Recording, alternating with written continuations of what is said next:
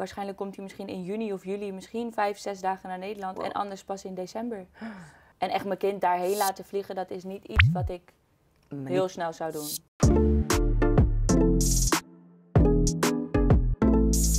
Hoi iedereen, ik ben Vanessa en je kijkt naar Spot On, het platform voor vrouwen, door vrouwen. In deze serie gaat het over grenzeloze liefde.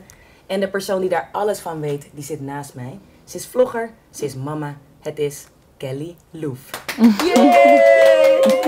We kennen, kennen jou als de moeder van Mason. ehm, en die heb je samen gekregen met Lars Veldwijk. Ja. Inmiddels zijn jullie wel al een tijdje uit elkaar. Eh, maar kun je ons meenemen naar dat moment dat jullie besloten van... oké, we gaan toch uit elkaar? Ehm Mason was één, Mhm. net één, dat wij toch besloten eh, om zonder elkaar verder te gaan. Ja, Jong wel. ja heel jong. En ja, wij gingen wel al zes jaar. Mhm, Dus ja, aan de andere kant is het natuurlijk wel heel zonde dat het niet verder ging. mhm. Maar ja, Maar ik kan me ook wel voorstellen dat op zulke momenten dat het wel lastig is voor jou. tuurlijk. Want je hebt net een kleine Ja. eigenlijk, want een jaar is super jong. Ja, Je hebt een relatie van zes jaar dat uit elkaar gaat en dan opeens sta je er een soort van alleen voor. ja. Of was dat niet zo voor jou? Nou ja, ik heb er wel een beetje zelf voor gekozen. hè. Oké. Dus ja, wel voor de duidelijkheid zeg maar dat Ja, ik dat uiteindelijk eh, ja, wel echt een streep achter heb gezet. Het is eigenlijk zo gelopen hoe het ging. Ik kreeg daarna alweer snel een nieuwe relatie. Mhm. Degene waar ik dus nu ook nog steeds mee ben. Ik wil niet echt zeggen dat ik er echt dan bang voor was om er alleen voor te staan. Want het was mijn eigen keuze. Ja. Dus- Heb je wel eens getwijfeld om bij elkaar te blijven voor Mason? Ja, ja, ik heb zeker getwijfeld. En ook eh, in de tijd dat het zeg maar over was tussen ons. Dat ik dacht van, heb ik een goede keuze gemaakt? En ja, was dit eigenlijk wel wat ik wou? Mhm. Het liep eigenlijk allemaal gewoon goed. Dat het niet aan, uit, aan, uit. Soms heb je toch wel eens dat je dan weer Ja, terug ja. maakt bij je ex. Ja. En dat dan honderd keer of zo. Dat is bij jullie nooit nee, geweest? Nee, echt was gewoon meteen uit? Ja, Wow. ja. Was je zo boos? Nee, niet eens. Nee, nee. nee, nee, nee, nee. Hij heeft zeker geen fout gemaakt of wat dan ook. Nee. Nee, ik heb het niet uit... eh, nee. Nee, het, ik denk dat het gewoon op was. Heb je je ooit schuldig gevoeld tegenover Mason? Dat het toch niet gewerkt heeft met zijn Mm. eigen vader? Ik denk dat je dat altijd wel een beetje hebt. Maar ik denk als je allebei ehm, zeg maar verder gaat en een goede relatie daaraan overhoudt. En die ook allebei voor hem goed zorgen, dat die schuld minder wordt. Mhm. Dan op een gegeven moment besluit je, wij gaan uit elkaar. Ja, Dan kan ik me ook voorstellen dat je heel erg gaat nadenken, hoe gaan we dit nu regelen met de kleine? Ja. Hoe is dat bij jou gegaan? Als ik echt denk hoe we het toen die tijd gingen gewoon afspreken van oké, wat gaan we doen met de kleine? Dan was het voor ons gewoon echt gelijk, oké, om het weekend heb Mhm. jij hem. En de dagen daarna, ja, in het, door de week, wanneer hij gewoon tijd had, dan kwam hij zijn kleine halen. Hmm. Was je daar echt heel gemakkelijk en vrij Ja. in? Ja, Kijk, want je hoort wel eens verhalen van vrouwen die dan eh, echt het kind als een soort van, ja, hoe zeg je dat? Dwangmiddel of zo gebruiken, of Ja. als machtsmiddel eigenlijk. ik weet heel veel mensen die om me heen die dat doen en ik vind dat heel slecht. Ja? Ik vind het heel slecht. Ja, Wat hoe erg ik ook Lars zou haten of wat dan ook, ik zou nooit mijn kind ertussen zetten. Hmm. Nee. Waren daar echt afspraken op papier ook voor gemaakt? Nee. Of hoe ging dat onderling? We hebben wel eens echt wel eens dingen, momenten gehad dat ik echt dacht van oké, als het niet lukt samen, dan moeten er andere mensen bij komen. Mhm. Maar dat wilde ik eigenlijk niet. Waarom niet? Omdat ik gewoon hoopte dat we er samen als volwassen mensen uit konden komen en niet anderen daarvoor ons hoefden te helpen, Ja. zeg maar. Ben je altijd tevreden geweest met de afspraken die er waren? Mm, niet altijd. Maar nee, soms dacht ik wel eens van ja, je kan er meer zijn of ja, of eerste keer vakanties en zo, weet je wel. En dat krijg je natuurlijk ook, ook allemaal Ja. apart. Dus daar zijn echt wel wat dingetjes tussen geweest, maar nooit heel erg. Als je nadenkt over het co-ouderschap, hè, wat zou volgens jou echt de ideale situatie zijn voor jou, Mason, maar ook voor Lars?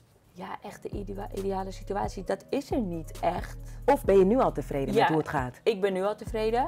Alleen ehm, is het natuurlijk zeg maar nu heel anders bij ons. Ja. Ja, Want dus jullie dat wonen is- nu echt ver uit elkaar ja, allemaal. Dus nu is er bijna geen afspraak meer te maken. Maar hoe het ging toen we allebei nog in Nederland woonden, dus vorig seizoen, Mhm. was dat echt. Ja, dat ging eigenlijk altijd goed. We woonden ook allebei in Vinkveen, dus dat Mhm. was allebei gewoon prima te doen. Dus er was Dus geen ja. reden om elkaar... Nee. Ja, ik snap het wel. Ja, hey, straks praten we verder met jou over het co-ouderschap. En dan gaan we even dieper in op hoe het nu gaat. Ja. Aangezien jij in Berlijn woont. En Lars woont nu in- zelfs in Korea. ja, Heel ver weg. ja. Wij gaan nu eerst naar de Spot On Squad. eh, en de- zij vertellen hun verhaal hoe zij het hebben geregeld met de partner van hun kind.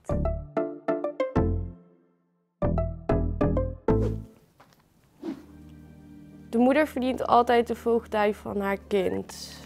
Ben ik het mee oneens.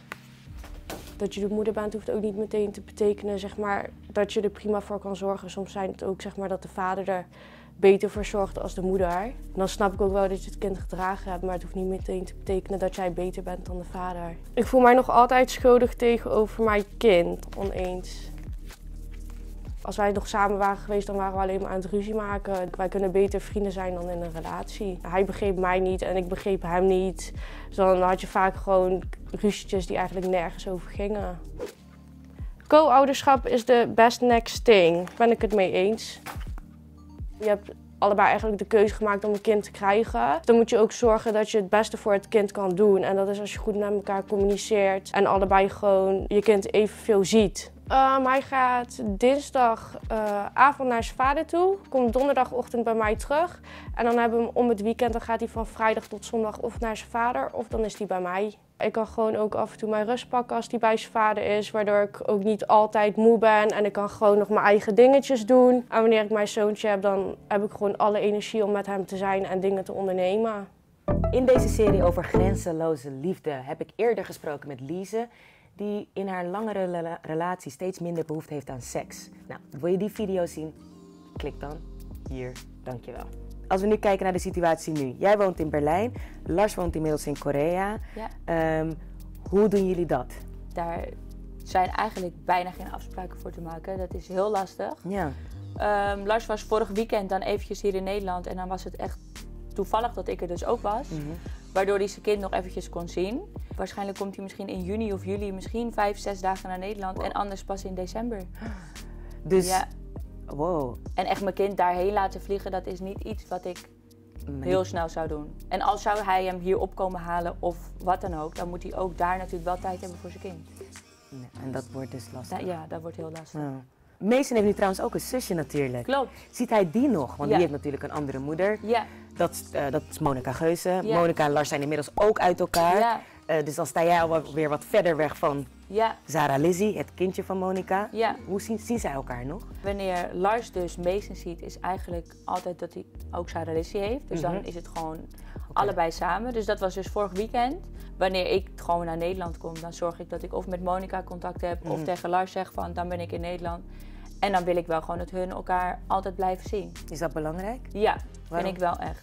Omdat ik merk ook wanneer eh Mason met haar is, of ik praat over haar of, of zij over hem, dat ik echt aan hem zie van oké, dat is mijn zusje. Je, je ziet echt een verschil. Dus ik vind dat gewoon ook heel belangrijk. En ik, ik hoop ook dat dat altijd zo goed blijft gaan, zeg maar. Dat het wel, eh, want dat Ja. hoort, vind ik. hey, wat zou je nog als advies willen geven aan andere vrouwen die dus eh, ja, een kind hebben en dan eh, uit elkaar gaan en dus co-ouderschapsplannen of dingen moeten maken? Ja, ik vind het wel lastig, maar ik vind wel dat je nooit, zeg maar, als je samen voelt dat het niet goed zit, Mhm. zou ik niet bij elkaar blijven voor het kind. Ik ben er dus ook echt zo geen voorstander Nee, van. en heel veel doen het toch. Ja, ik snap dat niet. Nee, ik ook niet. Zeg maar, Je moet er natuurlijk alles voor doen, vind ik. Je moet niet zomaar denken, oh, het voelt niet meer goed, dus we gaan maar uit elkaar. Mhm. Maar als je echt samen weet, of in ieder geval één van de twee er echt 100% erachter staat, vind ik dat je het ook gewoon echt moet doen. En gewoon zorgen dat je voor het kind alles goed regelt. Wat zijn nou echt de mooie dingen aan het co- co-ouderschap? Om daarmee te eindigen. Ehm, ja, wat echt mooi is, wat ik dus er mooi aan vind, is dat er dus ehm, ja, uiteindelijk van vader en moeder misschien een nieuwe relatie eh, ontstaat, zeg maar. En daar ook weer, zoals wij dus nu hebben, nieuwe kinderen Mhm. komen. Waardoor Mason dus toch een zusje heeft. En ja, dat toch wel heel mooi kan zijn ook. De soort van gezamenlijke familie, iedereen bij als elkaar. alles goed loopt en goed zit natuurlijk. Volgens mij loopt het wel goed. Ja, dus ik denk dat dat heel mooi is. En ja, het is natuurlijk nooit leuk. Maar als alles goed loopt, dan Is het goed? is het goed. Ik ben heel benieuwd hoe jij het hebt geregeld met je ex-partner. En hoe zorgen jullie samen voor dat kind? Laat het even weten in de comments hieronder. Kelly, dankjewel dat je er was. Bedankt ook voor je openheid. Want volgens mij ben jij nog nooit eerder zo open geweest over... Nee, niet over dit onderwerp ook. Nee. Vergeet natuurlijk niet een eh, duimpje omhoog te doen voor deze toffe video. Abonneer op ons kanaal. En dan zien we jou in de volgende. Tot later.